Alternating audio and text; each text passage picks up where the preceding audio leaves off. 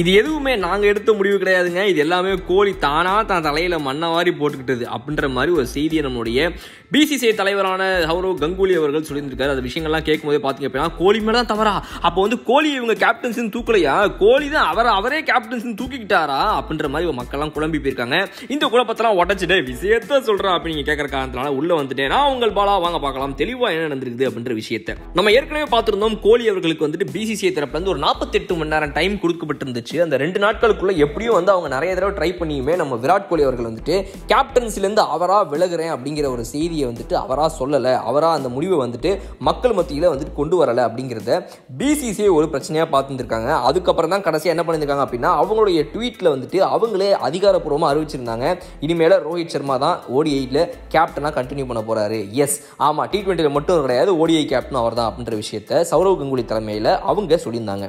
இந்த மாதிரி ஒரு விஷயத்தை வந்துட்டு ஏற்பட்ட சமயத்திலேயே மக்கள் எல்லாம் ஒரு பெரிய டவுட் ஏற்பட்டுருந்துச்சு. அப்போ கோலிக்கு இதில் விருப்பம் இல்லையா அப்படின்னு இதை பற்றி பேசும்போது சௌரவ் கங்குலி கடைசியாக இப்போ மௌனம் கலைச்சிருக்காரு. சௌரவ் கங்குலி என்ன சொல்லியிருக்காரு அப்படின்னா விராட் கோலி முதல்ல டி டுவெண்ட்டி கேப்டன்ஸ்லேருந்து விலகணுங்கிறதே எங்களுடைய ஐடியா கிடையாதுங்க. அது அவராக எடுத்த முடிவுங்க. நாங்கள் பல தடவை அவர்கிட்ட சொன்னோம்.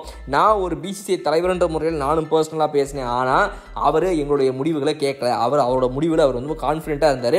டி டுவெண்ட்டி இன்டர்நேஷனல் கேப்டன்ஸ்லேருந்து விலகிறதா அவர் தான் எடுத்த முடிவு. அது பிசிசிஐ முடிவு கிடையாது. பிசிசிஐ ஃபோர்ஸ் பண்ணோம். அது இது. நீங்கள் பாட்டு எழுதி போட்டுருக்கீங்க பாருங்கள் ஒரு மண்ணாங்கட்டியும் கிடையாது. அவராக எடுத்து முடிவு. நாங்கள் எவ்வளவோ சொன்னோம் கேட்கல.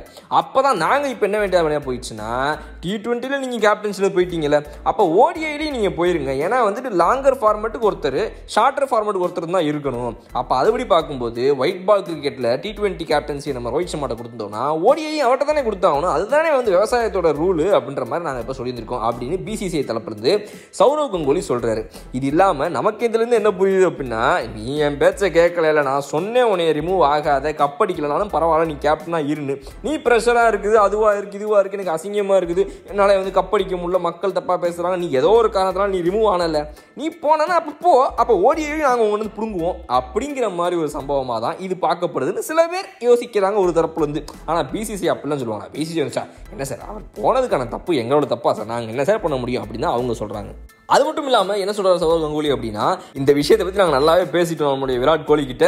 நான் ஒரு தலைவர்ன்ற முறையிலையும் பேசிட்டேன் எல்லாத்தையும் சொல்லியாச்சு. இனிமேல் ரோஹித் சர்மா தான் கேப்டனாக இருப்பார்.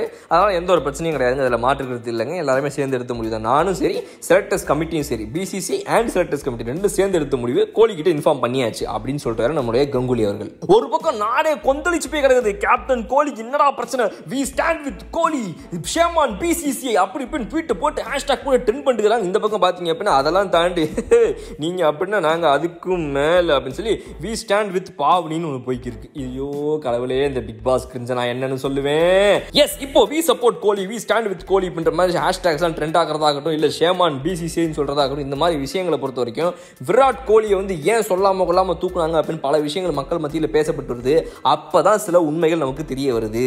பொறுத்தது போதும் பொங்கி எழு அப்படின்னு மௌனத்தை கலைச்சி இப்போ வாயை திறந்து பேசியிருக்கார் சௌரவ் கங்குலி அவர்கள். ஸோ உங்களுடைய கருத்துக்கள் என்ன? பிசிசிஐ தரப்புல இருந்து சௌரவ் கங்குலி சொல்றதை நம்புறீங்களா? இல்ல சௌரவ் கங்குலி பொய் சொல்றாருங்க. இதுல வேற ஏதோ ஒரு சூட்சமும் இருக்குதுங்க. இதுல ஏதோ ஒரு பெரிய பொய் மறைஞ்சிருக்குங்க ஒழிஞ்சிருக்குங்க. இதை நான் கண்டுபிடிக்காங்க அப்படின்னு சொல்லி கான்ஸ்பிரசி தியரிஸ்ட் மாதிரி பேசிக்கிட்டு இருக்கீங்களா? நீங்க யாரு? உங்களுடைய கருத்து என்ன அப்படின்றத கமெண்ட் செக்ஷன்ல சும்மா பதிவிடுங்க. நான் ஏற்கனவே சொல்லியிருக்கேன் கருத்து பதிவிடுறது கமெண்ட் செக்ஷன்ல வந்து சொல்றதுங்கிறது நம்மளுடைய சமுதாய கடமை. அதனால அதை கண்டிப்பா தயவு செஞ்சு நீங்களும் பண்ணிடுங்க. அது மட்டும் இல்லாம கலர் கண்ணாடி சப்ஸ்கிரைப் பண்ணுங்க பெல்லைக்கான பிரச்சனை பிரஸ் பண்ணுங்க. அடுத்த வீடியோ நான் வந்து பாக்குறேன் ஓகே பாய்